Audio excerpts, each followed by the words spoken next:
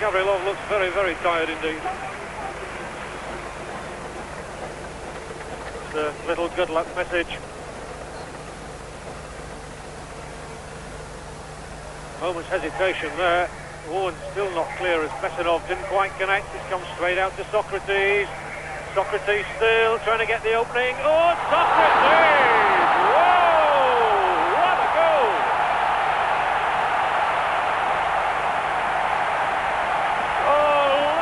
for a shot from the Brazilian.